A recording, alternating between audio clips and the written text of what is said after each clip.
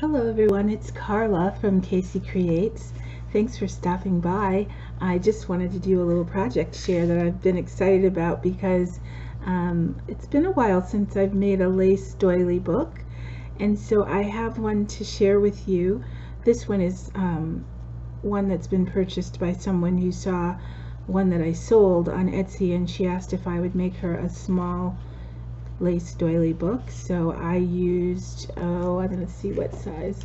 I think these were about four inch, oh, more like five inch doilies.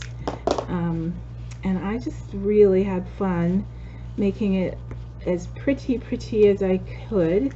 This is actually the back and it's got all kinds of creams and whites and pinks and doilies and applique so this is um, some pretty rose tangle trim. And this is a little pocket a little doily applique and a satin ribbon rose and a lace bow at the top and some pearls.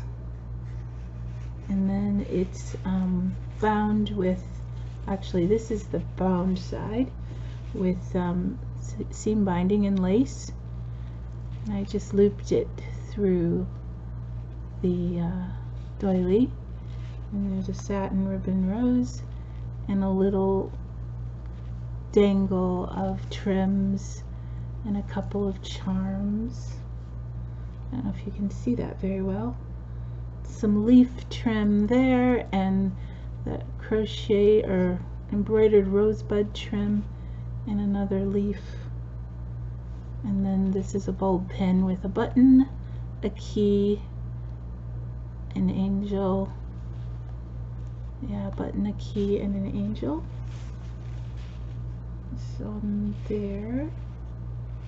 I'm not sure. I have a hard time knowing what angle to hold this thing at. And then I put um, I ruffled some pretty pink lace.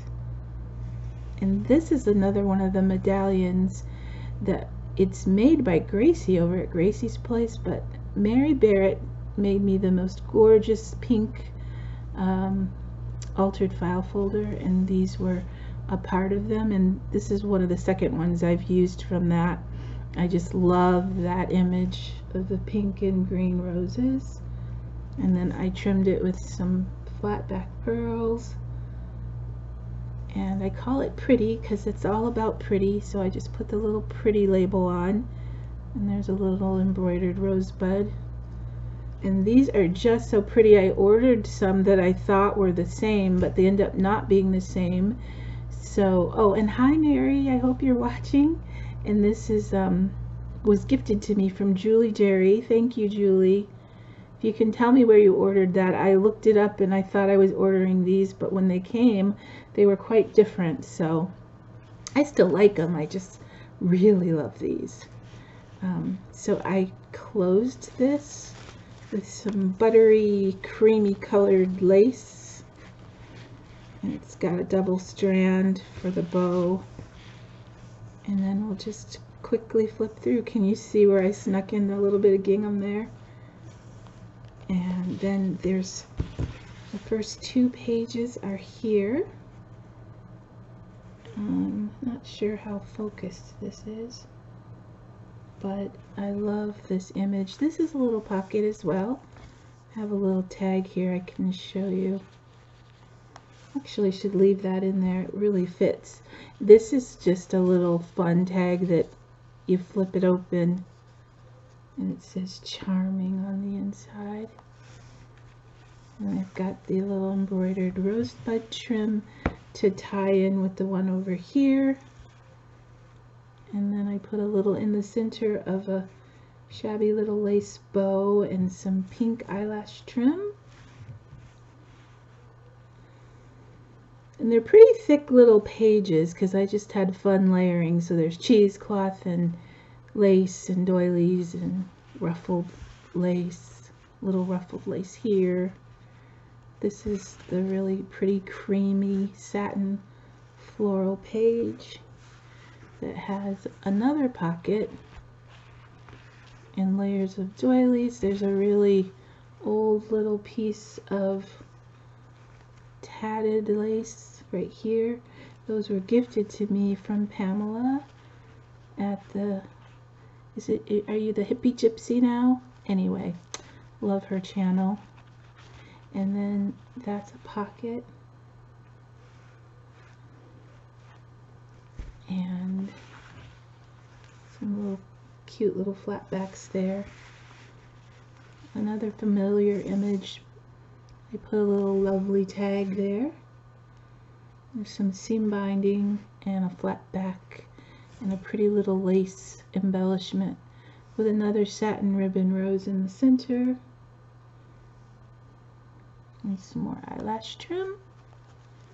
And the last two pages have all this gorgeous applique that I just fussy cut out of fabric and um, decorated the page. So this is just a really mostly decorative book um, just to have fun playing with and looking at. As we call them, a big girl's rag doll. And then I cut out the vintage little butterflies from a doily and used some of the petal and put them in the center for the body of the butterfly. Get this in straight. And then there's a pretty little butterfly and another pocket right here. You can tuck things in. And that's all. So I'll flip through it for you again really quick. There's the binding here. The little dangle here. And you have to forgive my hands, I have glue that's still coming off here, sorry about that. There's the front page.